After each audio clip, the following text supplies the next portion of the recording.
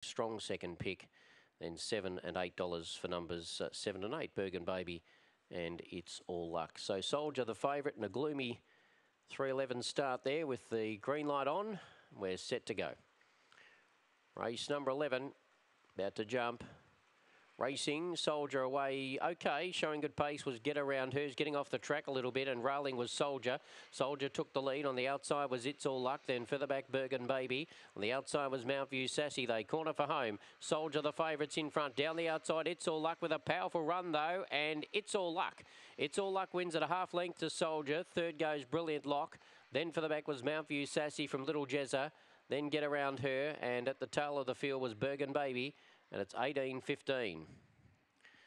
Number eight, It's All Luck for Maureen Brown, has worn down Soldier, the favourite. Number eight is first by Cosmic Rumble, All Good for Maureen Brown at lock. It's just its second win from 41 starts today, but puts uh, in a good performance. It is 8 2 3 6. Was travelling well on the corner and has worn down the favourite in the last little bit to officially score by half a length. Five lengths between second and third. A half by five, eight, two, three, six, nine, eighty-seven, eighteen, fifteen, eight, twenty-eight is your last section there for It's All Luck, who is by uh, Cosmic Rumble.